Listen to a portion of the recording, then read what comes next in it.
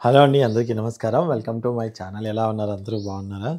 ముందుగా అయితే ఈరోజు మా అత్తయ్య గారు పంపించినటువంటి చుక్కుడుకాయలతో చుక్కుడుకాయ పచ్చడి పెట్టబోతున్నాను. అదంటే పులిహోర చింతప పులిహోర పులుసులాగా చేసుకుంటాం కదా దాంతోపాటు మనం పచ్చడి పెట్టుకుంటాం అనమాట చాలా చాలా బాగుంటుంది.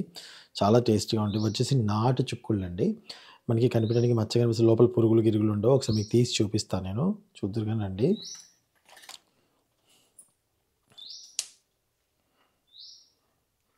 ఇలా అన్నీ తీసేసుకోవాలి.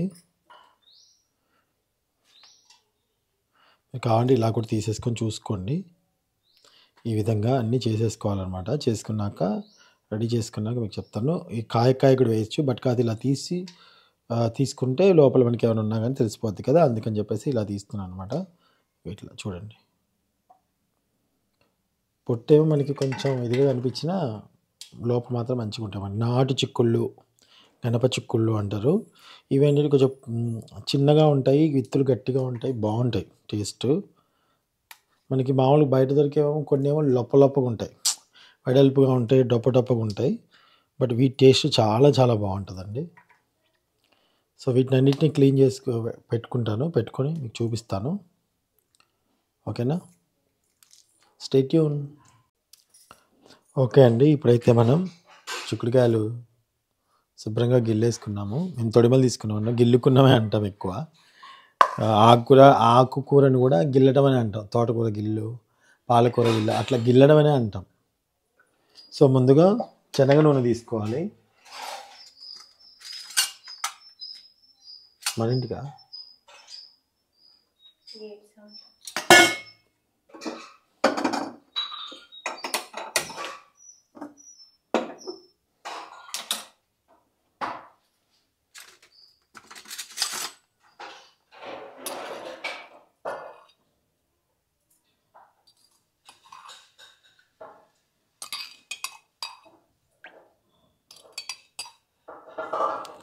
ఆయిల్ కొంచెం ఎక్కువగా పడుతుంది. ఇది పచ్చళ్ళు కదా.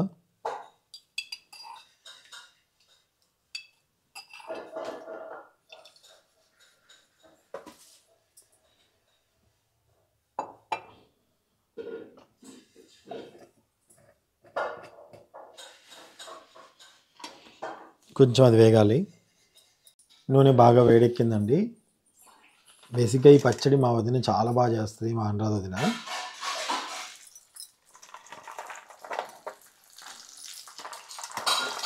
వీటిని మనం వేయించుకోవాలి మొత్తాన్ని.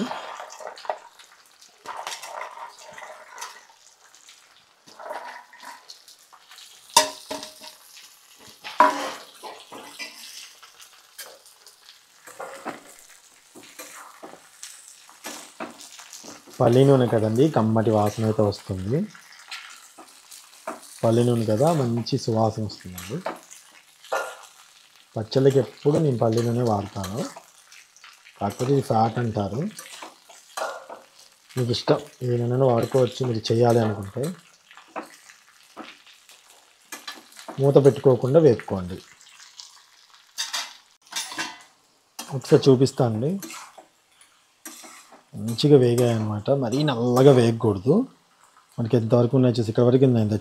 ఇప్పుడు అన్ని దగ్గరికి అయిపోయాయి. చూడండి. దాంట్లో పచ్చితనం అంతా పోయి మంచిగా వేగాయి. అది బాగా నల్లగా అయితే వేపుకోకూడదు. ఇప్పుడు వీటిని మనం తీసేసుకుందాం పక్కకి.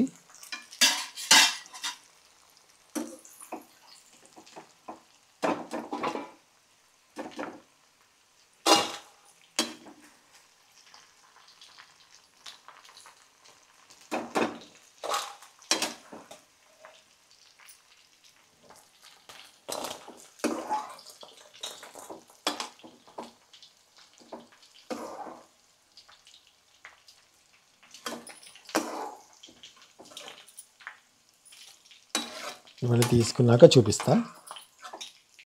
ఇప్పుడు అదే నూనెలో ఈ చింతపండు గుజ్జు ఒక రెండు నిమ్మకాయలు సైజు చింతపండుని శుభ్రంగా కడిగి కొన్ని వాటర్ వేసి మిక్సీ పట్టుకున్న ఆ గుజ్జు వేయాలి. నూనె వేడి వేడిగా ఉందిగా జిప్ జిప్ అని పొంగుద్ది జాగ్రత్త అండి.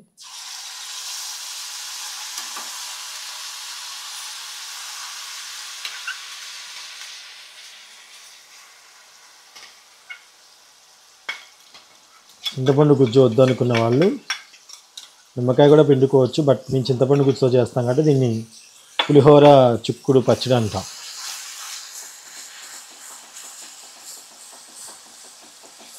స్టవ్ అంతా తగ్గించేసుకొని నూనెలో ఈ పచ్చితనం పోయేంత వరకు మంచిగా వేపుకోవాలి.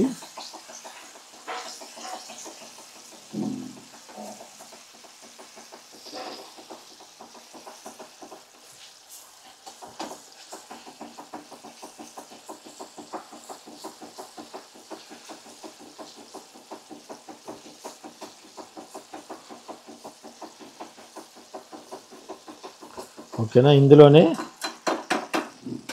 పసుపు వేసుకోవాలి.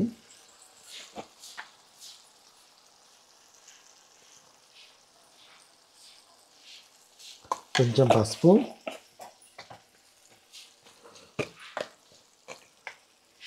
కారము ఉప్పు కూడా వేసేసుకోవాలి. కారం మరి దీంట్లో వేస్తే నల్లబడుతుంది అనుకుంటే పైన ఇంకో కారం స్పూన్ కూడా మీరు వేసుకోవచ్చు. ఒకటి రెండు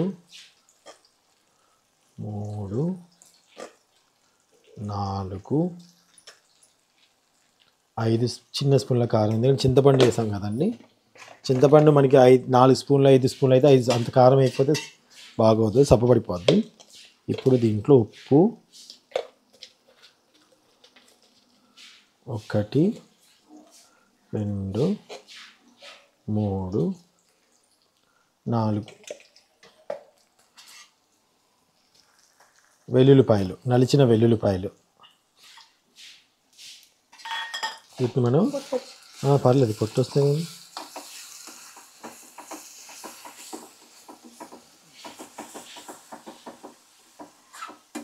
మంచి సువాసన వస్తుందండి.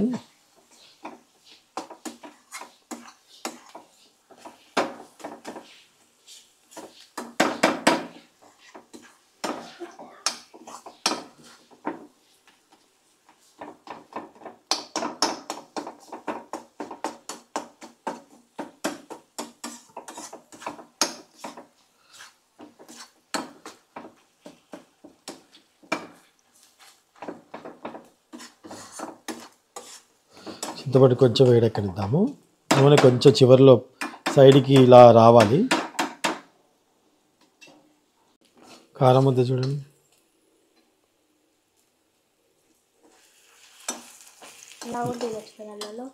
ఇప్పుడు దీంట్లో కరివేపాకు అండి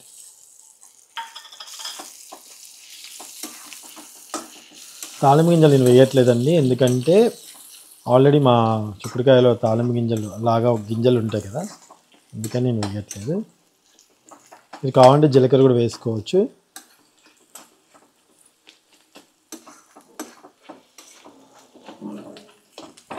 నూనె మొత్తం మళ్ళీ కారం కలిపి తాలింపు కూడా పైన వేసుకోవచ్చు. మీ ఇష్టం. ఇంకొంచెం కొంచెం వేగనిద్దాం. పచ్చివాసన అంతా పోయేంత వరకు.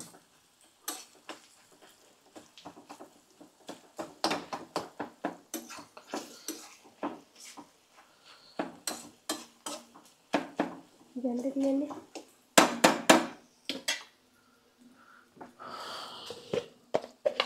కొంచెం జీలకర్ర. కావాలంటే నూనె కొంచెం వేసుకోవచ్చు అండి చెప్తున్నాగా మీ ఇష్టం అది.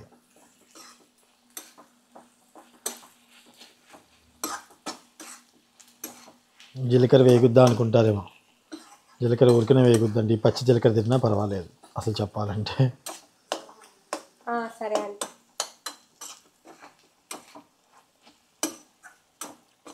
మీకు తెలుస్తుంది కదా. సో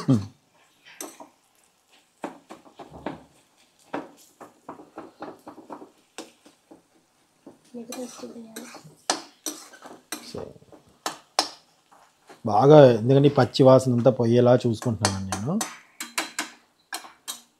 చెప్పాను కదా కావాలంటే నూనె పోసుకోవచ్చు. కొంచెం మా నూనె మా వదిలేతే కొంచెం ఎక్కువ నూనె పోస్తుంది.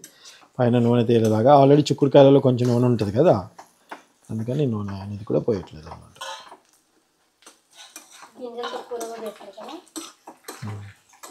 గింజలు చిక్కుడు గింజలు కూర చూసా ఎంత బాగా వచ్చిందో? స్టవ్ ఆఫ్ చేసేసుకుందాం. కొంచెం తీసి మాకు గిన్నెలో పెట్టేసండి ఎందుకు?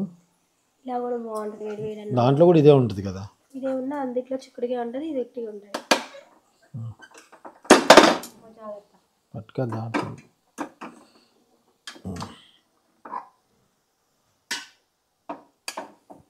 జరుగు ఒకసారి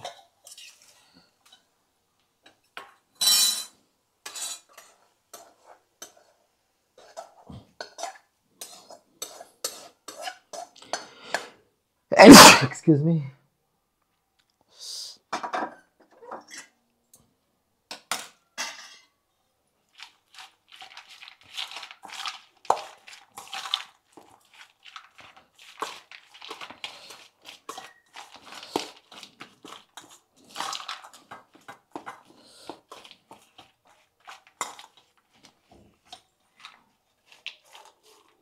ఎంత రుచిగా ఉంటుంది అనేది మామూలుగా నేను మాటలు చెప్పలేను. మీరు ఒక్కసారి ట్రై చేశారంటే తెలుస్తుంది. కాకపోతే మీరు నూనె ఇంత వేసుకోకుండా కూడా చేసుకోవచ్చు. చింతపండు కూడా ఎవరు చేసుకుని చేసుకోవచ్చు. కానీ చింతపండుతోనే చేస్తాం ఇది బేసిక్గా. నూనె పోస్తారు. కానీ మనకి సరిపోద్ది. మంచిగా. మెంతిపిండి ఆవు పిండి అయిపోయినా మంచి స్వా మంచిగా ఉంటుంది అసలు. పులుపు ఎల్లిపాయ కలిసే కదా.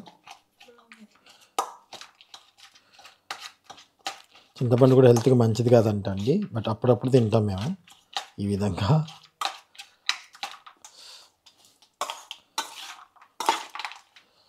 మీకు కారం ఉప్పు చూసుకొని కావాలంటే పైన పొడి కారం కొంచెం కలుపుకోవచ్చు.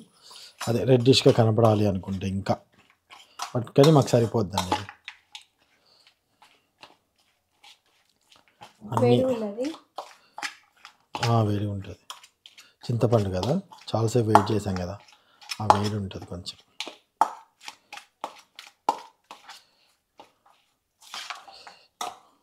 సో అన్నిటిని ఈవెన్గా కలుపుకో కలుపుకుంటున్నాను చూడండి.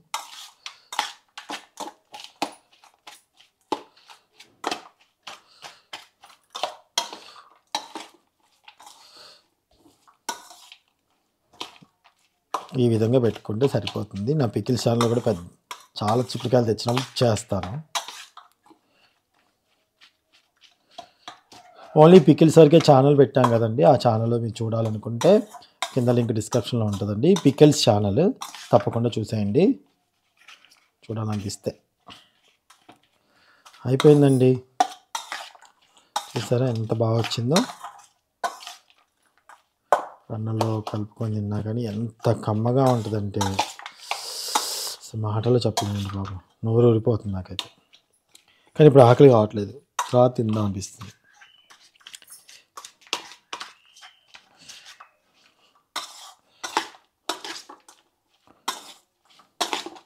బాగా కలుపుకోవాలి. ఎందుకంటే ఆ చింతపండు అనేది కారం అనేది ప్రతి ఒక్క దానికి వెళ్ళాలి. ఎవరికైనా ఒక స్పూన్తో మనం పచ్చడి వేసినప్పుడు ఆ స్పూన్కి అలా రావాలి కొంచెం ఇట్లా. అప్పుడే పర్ఫెక్ట్గా అనిపిస్తుంది అనమాట చిక్కుడుకాయ పులిహోర పచ్చడి రెడీ అయిపోయింది. చూడండి. చల్లారితే చేతితో కలిపితే బాగుంటుంది కదా? ఇది చాలా. వేడి ఉంది. ఇదేనండి. రెడీ అయిపోయింది. సో మరొక వీడియోతో మళ్ళీ రేపు మీ ముందుకు వస్తాను. Bye bye. Thank you